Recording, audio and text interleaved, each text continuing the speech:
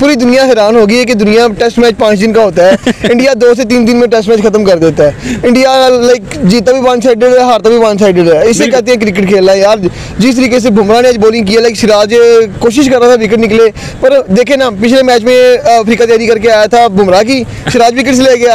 आज उन्होंने कहा यार सिराज की तैयारी करते हुए बुमराह विकेट उड़ा ये गया। तो अनसीन पेपर आ गया उनके लिए। वाकई वाकई ये जेनवन अनसीन पेपर हुआ है। तैयारी किसकी करते हैं? आ क्या जाता है? यार इंडिया तो लाइक मैजिक मैजिशियन बोल रहे हैं इंडिया ने ना मज़ाक की है इनके साथ की है ज्यादती एक होती है जिनसी ज़्यादा एक होती है मोरली ज़्यादा इन्होंने की है मोरली ज़्यादा ताकि भाई आइंदा से हमें साउथ अफ्रीका ना बनाना कि भाई हम सिर्फ़ अपने होम ग्राउंड्स में ही नहीं शेर नज़र आते बाहर हम बब्बर शेर नज़र आ रहे सवा शेर खड़े हैं हम लोग यहाँ पर। और मज़ा आया जिस तरह से चित किया है ना कैपिटल वो भी साउथ अफ्रीका के कैपिटल में जहाँ पर लोग कहते थे भाई इंडिया का रिकॉर्ड है वो यहाँ से कभी कुछ लेकर नहीं गया। अब क्या किया सीरीज़ बराबर की है कि मज़ा आया देख के साउथ अफ्रीका के मुँह गिर गए। बुमराह और सिराज ने कोई कसर नहीं छोड़ी साउथ अफ्रीका की तो उड़ाने उन्होंने लाइक पहले पहली इनिंग में सिराज ने छः बिल्कुल। दूसरी इनिंग आई तो जी बुमराह बुमराह छः। ओ भाई क्या क्या नहीं मतलब कुछ भी।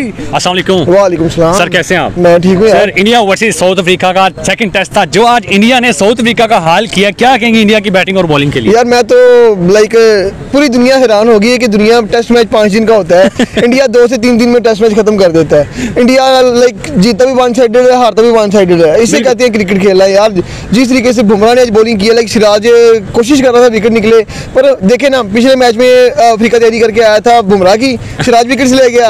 आज उन्होंने कहा यार सिराज की तैयारी करते हुए बुमराह विकेट उड़ा ये गया। अनसीन पेपर आ गया उनके लिए। वाकई वाकई ये जेनवन अनसीन पेपर हुआ है तैयारी किसकी करते हैं? आ क्या जाता है। यार इंडिया तो लाइक मैजिक मैजिशियन बोल रहे हैं उनके पास यार। बैटिंग की तैयारी करके आते बॉलिंग चल जाती है बॉलिंग की तैयारी करके आते बैटिंग चल जाती। बिल्कुल ऐसे ये मार्करम बचा गया। मार्करम जो सौ ना मारता हमें ये मैच एक इनिंग में खत्म होता हुआ नज़र आ रहा था। पर यार इंडिया ने अप्रिशिएट करना चाहिए इंडियन टीम को जिस तरीके से उन्होंने लाइक देखे। हर जैसे फ़ेमस थे ऑस्ट्रेलिया और इंग्लैंड बेसबॉल क्रिकेट खेलते थे फास्ट क्रिकेट खेलते थे। इससे फास्ट खेल के दिखाओ यार। दो दिन के अंदर टेस्ट मैच कौन खत्म करता है। मैंने यार जब से होश संभाला है मैंने टेस्ट मैच इतना फास्ट नहीं देखा यार। मैंने बड़ी बड़ी पिचेस डेंजर देखी है मैंने पर्थ की देखी है मैंने इंग्लैंड की पिचेस देखी है मैंने लाइक वो स्विंग होता है चार चार पाँच पाँच दिन तक मैच जाता है। दो दिन में मैच खत्म कर रहे हैं। पहले मैच में लाइक लंच ब्रेक से पहले इंडिया ने अफ्रीका को आउट किया पचपन पे। फिर खुद हैं, फिर खाना पीना खा के खाना पीना खा के खुद आए अगले दिन में मैच खत्म। यार अगर हिटलर इस दौर में होता हिटलर किसी को भी ना मारता जैसे हिटलर ने इंग्लैंड की टीम को खत्म किया था ना बिल्कुल। तो कहा यार पाँच दिन में फैसला ही नहीं आया। उन्होंने दो दिन में खत्म कर दिया यार पता नहीं क्या खा के इंडिया वाले क्रिकेट खेलने आते हैं। अमेजिंग यार। लाइक अप्रिशिएट करना चाहिए इंडियन जैसे आप बात करिए ये शास्त्री जायसवाल चल भी नहीं रहे फिर भी उसे खिला रहे हैं अपने प्लेयर्स को ग्रूम कर रहे हैं रहे हैं। मोटिवेट करते हैं उनको स्ट्रॉन्ग करते हैं। यार तुम लोग परफॉर्मेंस करो ना करो। मेन जब आप इंटरनेशनल मैचेस खेलोगे ऐसे बॉलर्स आते हैं। खुद बिल्कुल। कमेंट्री रेडी करो। बिल्कुल। क्योंकि विराट और रोहित कितनी देर टीम को संभालेंगे? अयर भी अच्छा बैट्समैन है गिल भी है पर उन्होंने तैयारी करनी है भाई दस साल की। हमारी तरह दो तीन माह की तैयारी नहीं करनी है अगले पीएसएल की तैयारी नहीं करनी। ये पूरे पाकिस्तान या पूरी दुनिया के मुँह पे थप्पड़ है जो लोग कहते थे कि इंडिया अपने घर से बाहर जाके खेल नहीं सकता।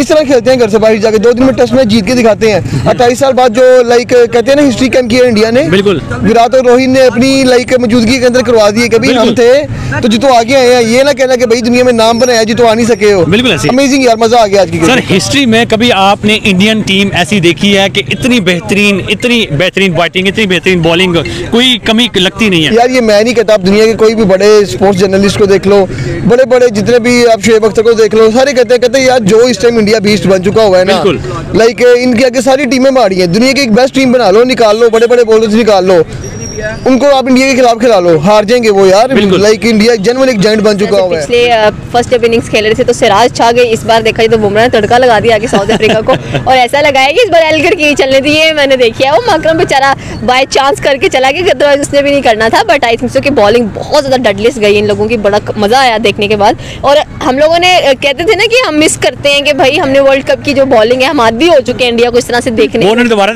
दोबारा दिखाई। है प्रूव किया है कि भाई हम सिर्फ़ अपने होम ग्राउंड्स में ही नहीं शेर नज़र आते बाहर हम बब्बर शेर नज़र आ रहे सवा शेर खड़े हैं हम लोग यहाँ पर। और मज़ा आया जिस तरह से चित किया है ना कैपिटल वो भी साउथ अफ्रीका के कैपिटल में जहाँ पर लोग कहते थे भाई इंडिया का रिकॉर्ड है वो यहाँ से कभी कुछ लेकर नहीं गया। अब क्या किया सीरीज़ बराबर की है कि मज़ा आया देख के साउथ अफ्रीका के मुँह गिर गए। अच्छा मुझे ये बताएँ कि पहले डीन एल्गर ने मैच को विन करवा दिया 185 करके आज एडन मार्क्रम थोड़ा सा जो है वो हाँ, वो- इनिंग से बचा लिया। नहीं तो आज भी ये इनिंग से हारने वाले थे एक इनिंग्स और कुछ स्कोर इनको भी जो है इन्होंने भी हार जाना बिल्कुल बात आपकी सही कि पहले में जो एल्गर था काफ़ी ज़्यादा हवाओं में उड़ रहा था कि मैं मैन ऑफ़ द मैच भी बन चुका हूँ और साथ में देखा जाए तो मैंने इतना अच्छा रन भी चेस कर लिया है। इंडिया तो कुछ कर ही नहीं पा रहा है सेकंड टाइम वो इसी भूतावा भूत भूता हुआ बंदर भी जो सा आ रहा था। वो आ रहा था कि मैं इस बार ऐसे ही करूँगा। चले इस बार मकरम की थोड़ी सी चल गई है।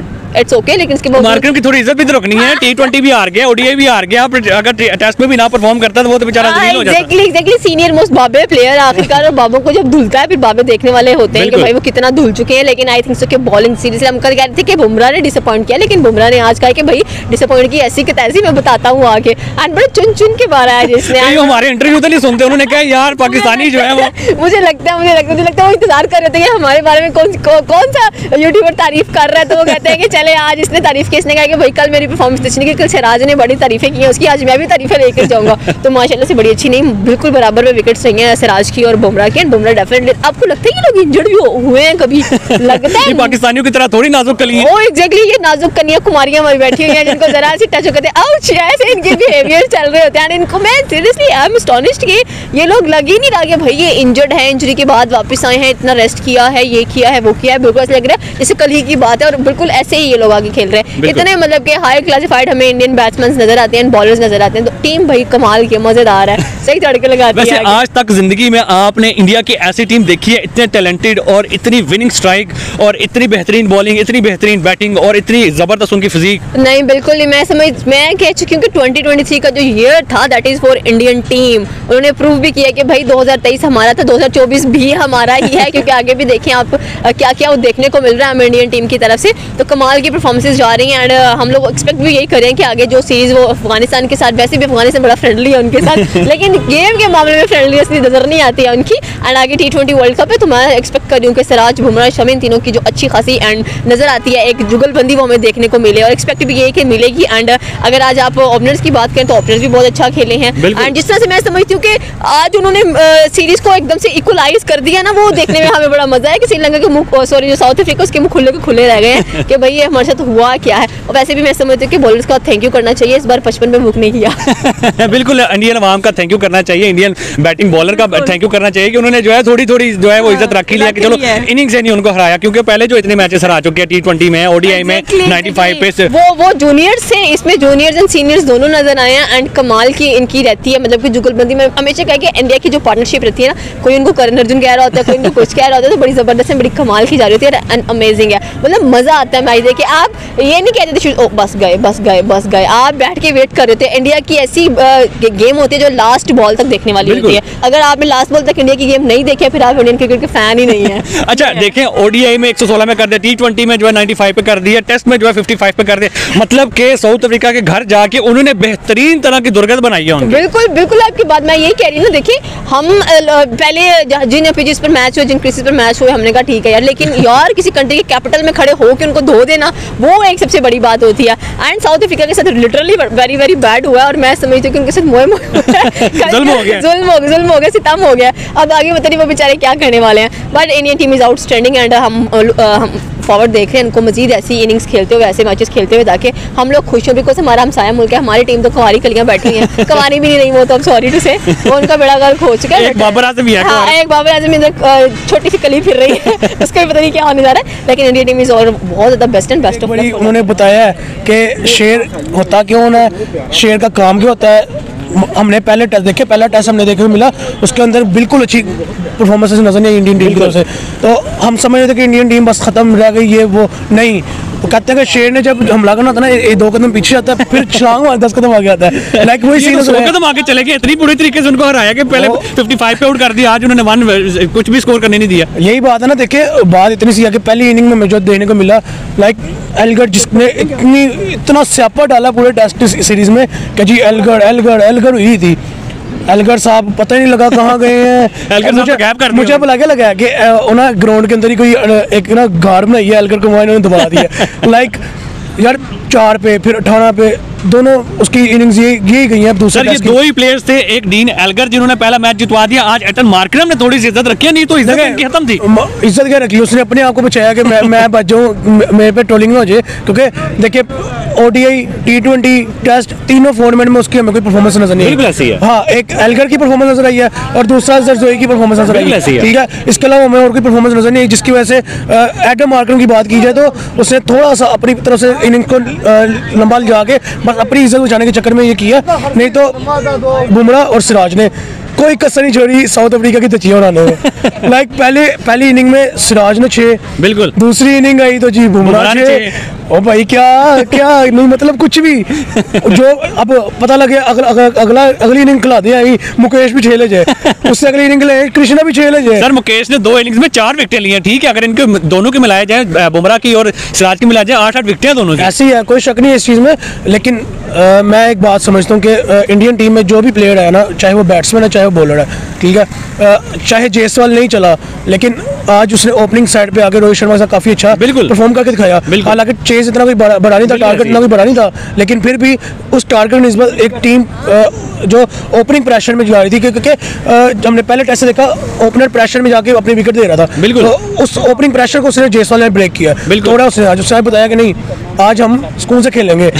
बड़े दिन बने अभी दो दिन आज तो याशी जी खेल रहे थे कोई टेंशन ही नहीं है सत्तर स्कोर है कौन सा कोई बड़ी हम बात हम भला समझ रहे थे कि साउथ अफ्रीका ने एक इनिंग पहले इंडिया को हराया तो इंडिया ने दो दिन पहले हरा दिया भाई क्या हो गया? पाँच दिनों का मैच हिस्ट्री में पहली दफ़ा होगा एक दिन के अंदर तीन इनिंग्स खेली है। बिल्कुल ऐसे ही है। समझ नहीं आ रही इंडिया करना क्या चाह रहा है बस। मुझे मुझे अब बस मुझे एक ही डर है कि ये बॉर्डर इंडिया का साथ ही लगता है पाकिस्तान के। सर उन्होंने एक इनिंग से हरा दिया इन्होंने तीन दिन अभी बकाया छोड़े हुए हैं पीछे। तो तीन दिन से हरा दिया ये हिस्ट्री क्रिएट होगी ना। बस अब डर यही है कि बॉर्डर से इधर ना आ जाए। रोहित शर्मा या विराट कोहली तो कहे चलो ये पाकिस्तानी बन लो लंगोटे अपने। तुम भी तैयार हो हाँ, तुम भी तैयार हो अट्ठाईस साल के बाद ये रिकॉर्ड टूटा है। सीरीज़ तो नहीं जीता लेकिन सीरीज़ इन्होंने ड्रॉ कर दी। अट्ठाईस साल के बाद कोई ना कोई तो रिकॉर्ड टूटा ही है ना। एक्जैक्टली ऐसी टी ट्वेंटी की अगर बात की टी ट्वेंटी में पहला मैं बारिश की नज़र हुआ। बिल्कुल। और अगले दो यानी कि सीरीज़ में टाइम नज़र आई बराबर नज़र आई।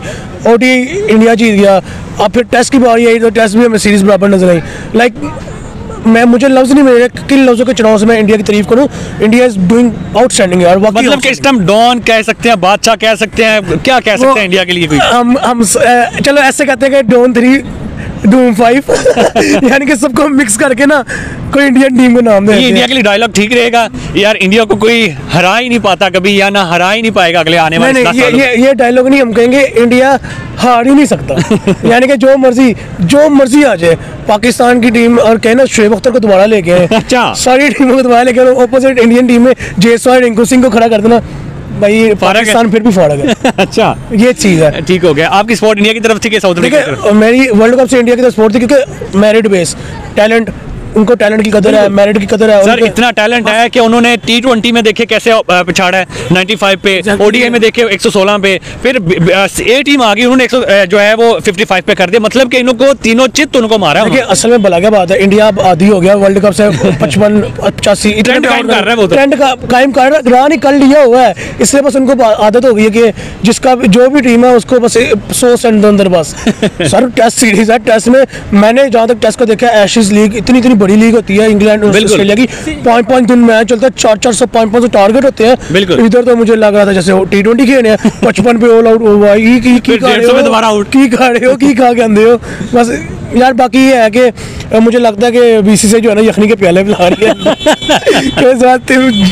चाको चुपंद हो पूरा आगे पाकिस्तान जो थोड़ी हमें डिसअपॉइंट की लेकिन बॉलिंग की तरफ़ से भाई उन्होंने तो हमारे तोते उड़ा दिए पकड़ के हमें पता ही नहीं चला कि अभी मैं सो, सोया उठ के आया था मैं कहा यार चलो देखता हूँ कोई टारगेट अच्छा दिया होगा साउथ अफ्रीका ने। और मैंने देखा मैं क्या अकेला वो क्या नाम है बुमराह ही पड़ गया इनको। मैं सोच में पड़ गया मैं कहा यार ही खा गया इनको। बुमराह ही खा गया इन्होंने क्या वो हिस्से बांटे हैं कभी से राजा के शुरू हो जाता है कभी आगे बुमराह शुरू हो जाता है। मतलब इंडिया ने ना अपना आप दिखाया भाई बॉलिंग के अंदर हमारी बैटिंग नहीं ना चली हमारी बॉलिंग चल के दिखाई गई आज। और इंडिया ने जिस जितनी प्यारी बॉलिंग की है ना मतलब एक बॉलर नहीं सब बॉलर ने परफॉर्म किया। वो एक मुकेश कुमार दो विकेट कृष्णा एक विकेट सिराज फिर दो विकेट बुमराह छह विकेट और यार इंडिया ने ना मज़ाक की है इनके साथ की है ज्यादती ज़्यादा एक होती है जिनसी एक होती है मोरली ज़्यादा इन्होंने की है मोरली ज़्यादा ताकि भाई आइंदा से हमें साउथ अफ्रीका ना बुलाना आप लोग। अच्छा उनके लिए क्या कहेंगे? जो कहते थे इंडिया सिर्फ़ घर में खेल सकता है सिर्फ़ घर की टीम है बाहर जाके कभी नहीं खेल सकते और- अट्ठाईस साल का रिकॉर्ड भी उन्होंने आज ब्रेक कर दिया आज इनिंग्स जो है वो टाई कर दी उनसे सिर्फ़ ये कहेंगे जस्ट शट अप ये बात ठीक है। रोहित शर्मा ने इस ग्राउंड में खड़ा होकर कहा जस्ट शट अप हम बाहर जाके खेल सकते हैं मतलब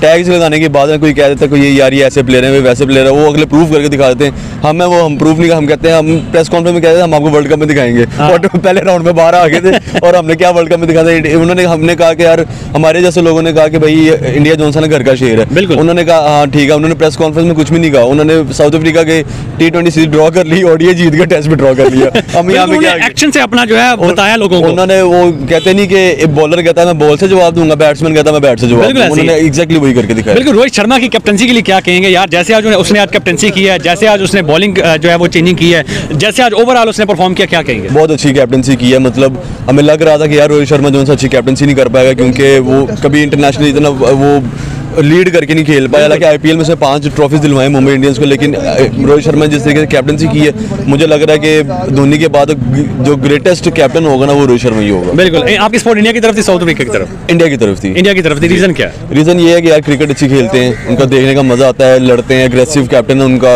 उनका मिस्टर चेज भी है उनके पास विराट कोहली भी है अटैकिंग बॉलिंग भी करते हैं फील्डिंग भी अच्छी करते हैं one of the finest fielder Jadeja यार मुझे ये बताइए आखिरी बात के आपको उम्मीद थी कि इंडिया इतना बेहतरीन कम बैक करेगा और इतने बुरे तरीके से इंडिया को पहले पहले? पहले मैच के बाद तो नहीं था लेकिन दूसरे मैच जैसे इंडिया ने कम बैक सिराज ने विकेट्स ली तो हमें पूरी उम्मीद थी सेकंड इनिंग ये दो दिन में मैच खत्म होना। हमें तो लग रहा था यार पहले दिन ही खत्म हो जाएगा लेकिन चलो इंडिया ने थोड़ा शर्म लिहाज करके तीन विकेट्स ली। उनका यार एक दिन एक रात सोते हैं अगले दिन आगे इनको पकड़ लेंगे। वही हुआ सुबह आते सारी इन्होंने पकड़ा। टेस्ट मैच को उन्होंने दो दिन में जो है वो कन्वर्ट कर दिया दो दिन में जो है मैच खत्म करके मैच जीत के जा रहे हैं। टेस्ट मैच नहीं तो टी ट्वेंटी मैच लग रहा था कि आ रहे हैं जा रहे हैं आ रहे हैं जा रहे हैं उधर साउथ अफ्रीका पड़ी है इधर से इंडिया पड़ी है और अगले दिन आगे फिर इंडिया पड़ गई अब इंडिया ने आगे मैच खत्म सर एक दिन में तीन इनिंग्स हुई हैं एक दिन में बीस विकेटें गिरी हैं कल के दिन में मतलब और आज भी उन्होंने जो टाइम खत्म कर इंडिया कहते हैं ना इंडिया अटैकिंग क्रिकेट खेलती है उन्होंने प्रूव करके दिखाया भाई हम बाकी अटैकिंग क्रिकेट खेलते हैं।